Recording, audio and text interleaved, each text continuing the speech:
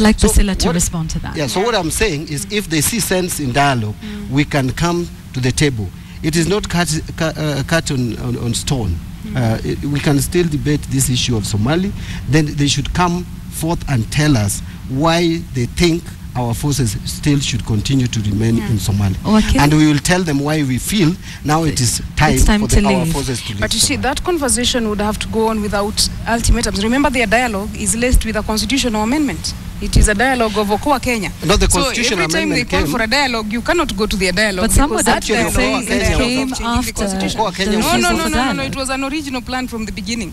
if you get into dialogue with CORD, they will take you to other other places. You know, they will start on security, but before you know it, you will be on change of uh, government system. But you cannot say that always without having engaged I'm the happy process. But let me say is, this. is thinking for us, but really, No, your strategies are Okoa well known. Kenya was a- what we uh, are saying uh, anyway. is this.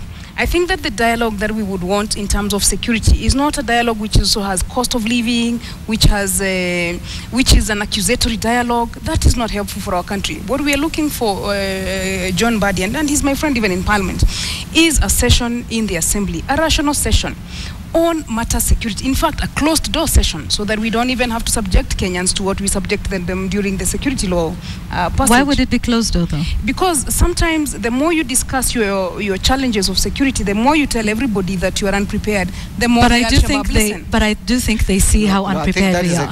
I think that regardless of whether in- we in have these discussions or not. I think the average Kenyan is able to tell that Yeah. we've been largely unprepared with several of the attacks, But including the one be, in I mean, for example, ago. if you're going to have a discussion on KDF, you want to tell how far Kismayu, and there are a lot of other military strategies that I'm not sure. I mean, I'm an access to information advocate myself, but always in terms of matters security, in terms of matters military, in terms of matters strategy, sometimes you want to discuss that in closed door.